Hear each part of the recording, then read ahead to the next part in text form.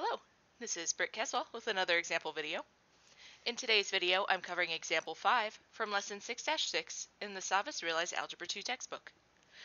The goal of today's video is to solve logarithmic equations. That is, equations that have logarithms on one or multiple sides. So solving logarithmic equations is actually a lot easier than you would think. Um, if you notice here, the, the logarithms are isolated. So our, our main goal is always going to be to isolate the logarithms. All right. And now that they are isolated, what I'm going to do is I'm going to exponentiate.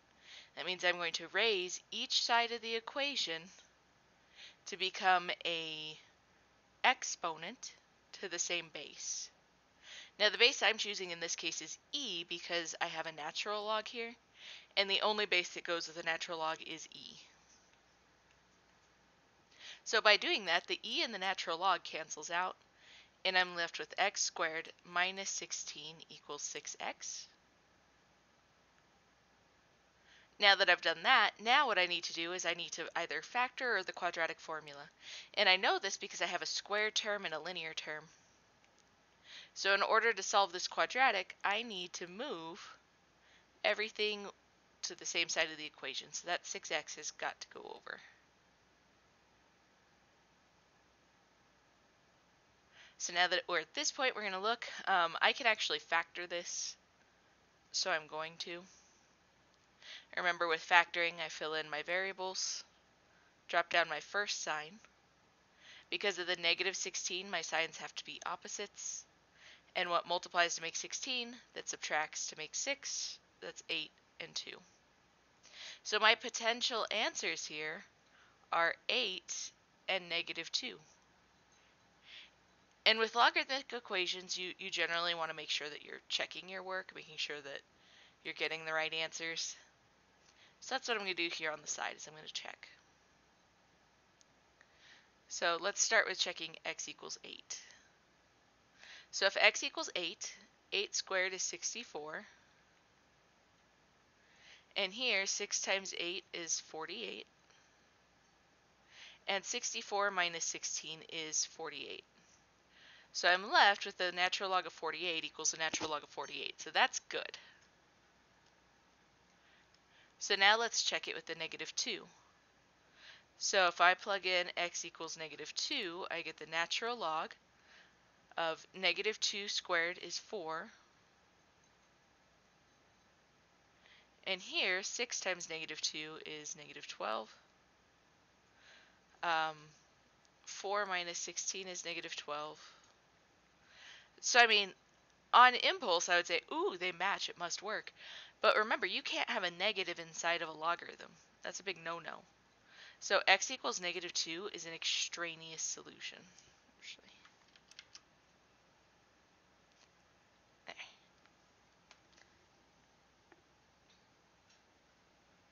So x equals 8 is our only viable solution. So let's go ahead and let's try it again. So my first step, I'm going to exponentiate. Now notice this is a log base 5. So the base of the exponent I'm using here is 5 because that's what cancels out with this type of logarithm. Okay, so I have x squared minus 45 is equal to 4x. I have a quadratic term and a linear term. So I need to move everything onto the same side of the equal sign. So I get x squared minus 4x minus 45 is equal to 0. And this is again factorable. So I bring down my x's. My first sign falls down. The negative 45 says that I need opposite signs. And what multiplies to make 45 that subtracts to make 4? That's 9 and 5.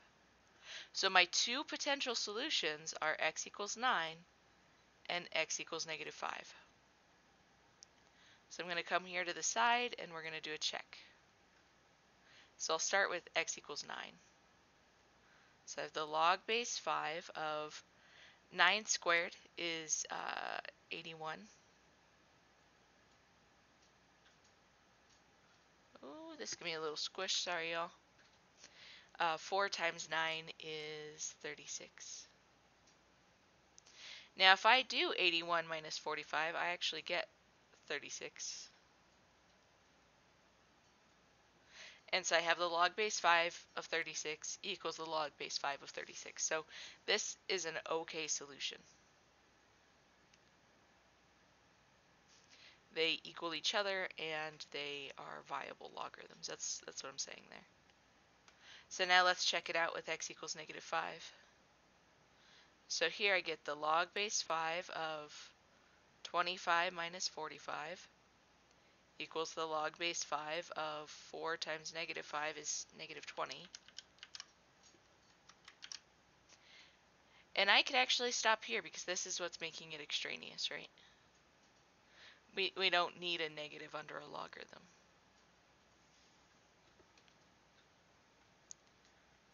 Alright, so let's go one more time just for funsies. So here I have natural logs on each side. So remember to counteract a natural log, you're going to extraneate using the base e to cancel those natural logs out. So on the left, I'm left with 4x minus 1, and on the right, I'm left with 4x squared. So now I want to get everything to one side of the equal sign. Um, yeah, and I'm gonna, I'm probably gonna factor on this one as well. So I'm gonna go ahead and add 4x to each side and add 1 to each side. I do that because I don't like having a negative on the, uh, the square term. Personal preference, but you do you, boo-boo. Now this is factorable. It's kind of hard to tell, but this is actually a perfect square trinomial. This is 2x plus 1 squared. And so now when I go to solve for this, I need to get rid of the square by taking the square root of each side. Now remember, anytime you take a square root, you have to put a plus or minus. But in this case, it doesn't actually matter because the square root of 0 is 0. And if you add or subtract 0, it doesn't, it doesn't matter. Okay, so I get 0 is equal to 2x plus 1. So I'm going to go ahead and subtract 1. So I have negative 1 equals 2x. And then divide by 2. Ooh, it's a little squished down here. I'm sorry. So my, my potential solution is x equals negative 1 half. So now I'm going to do a check to make sure that that's true. So I have the natural log of negative 4 times negative 1 half is positive 2. And then here, negative 1 half squared is 1 fourth times 4 is 1. So I get the natural log of 1 equals the natural log of 1. And that's true. I could also take this a step further. The natural log of 1 is 0. So I'm also getting 0 equals 0 here, which works. So x equals negative 1 half is my solution. So there we have it, guys. That is how to solve logarithmic equations. Until next time.